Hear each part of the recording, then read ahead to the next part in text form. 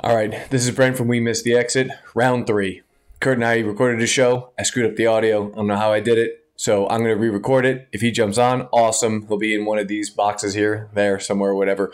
Um, this is our basketball championship thing. This is the uh, We Missed the Exit NBA tag King of the Hill. You're it, whatever it is that we're calling it that Brian came up with. Uh, to recap this game, a team holds the trophy, and they hold on to that trophy for however long they can until a team beats them. The team that beat them then takes the trophy for however many days they hold it until they lose to another team. And we're going to be keeping track of this throughout the whole NBA season. And we're going to take a look real quick the recap so far. As you can see, I've held it for 10 days. Kurt's had it for two, Brian zero, Evan for seven.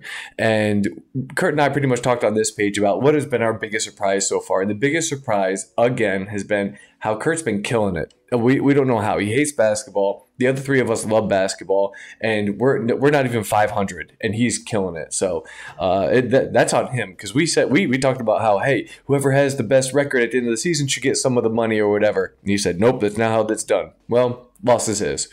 Uh, we also talked about how we're surprised, you know, the Lakers are not doing as well as they are. We were all hoping they were going to be not we were all hoping, but I think a lot of us thought that they were going to be doing a lot better. I thought the Hornets would be doing better. Lamelo's been hurt, so I understand that. Uh, and I think the other big surprises are the Utah Jazz. You know, they they unloaded Mitchell and Gobert. Now they're killing it. You know, it's kind of like when the Denver Nuggets unloaded Melo years ago. They ended up doing better without him. Go figure.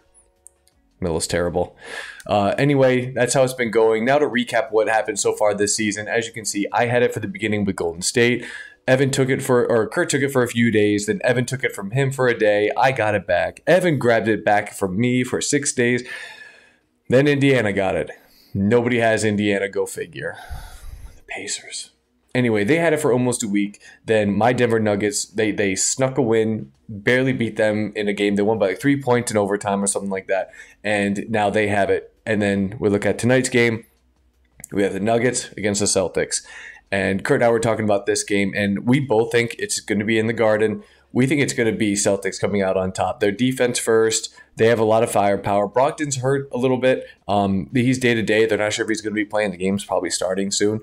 And then you have my team that's just overloaded with too much offense, no defense. Who knows what's going to happen? Uh, we both have the Celtics winning this.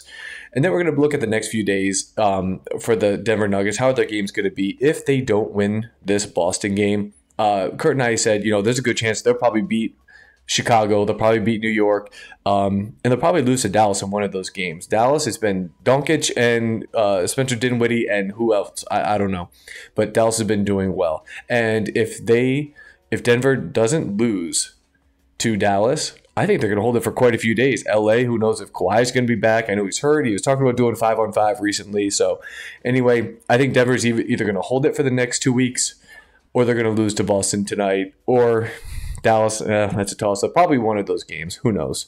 Anyway, this is our fantasy league that uh, Evan and myself have a team. We're Yoba Goya, and here's Brian down by the bay, and we got a we got shellacked last week because, and you know, we're gonna make excuses. I looked it up. Five of our top six picks were all hurt with injuries, and and so they were all out. And as you can see, you know, going against Brian's like our barometer, even though we're in two separate divisions in our fantasy league. Um, as you can see, we're getting crushed right now. We, we got crushed last week, two to six, and we're, we're just getting destroyed. So when we compare ourselves to Brian, we're, we're doing terrible. Hopefully, we get over the injury bug. Hopefully, our guys are all healthy. I think we still have like two injured that are out right now, maybe three. Um, I don't want to unload too many players just yet, so we'll see. And lastly, here we have who is this? Don't look it up. Don't don't do anything. But I want to see if you guys could do it. Uh, Kurt couldn't get it. I bet Brian or Evan, one of those two, would have got it. I gave Kurt a hint with the name, the first name, and almost got the player. I think he said he's heard of him, but not quite. Um, put your guess in the uh, in the comments below. You know, see if you can get this guess. Uh, who is this player? Um, they still play, obviously. Uh, probably not. I mean, their role is a little bit diminished at this point, but you know they're still around. I think this heart condition thing, where they didn't play for an entire year, would give it away to Brian or Evan.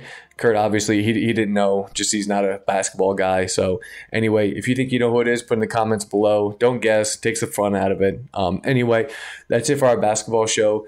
Don't forget to check out Kurt's F1 show that he's doing. He forgot to do one last week. Uh, so he's going to be uh, grouping the two recently ones, done ones, uh, coming up the USA one and the Mexico one. And I think there are a couple more races coming up, Abu Dhabi and something else. So don't forget to check him out in one of the things up here or down there. I don't know where it is. Anyway, check out more of our We Miss the Exit show stuff, and we'll see you next week with this show.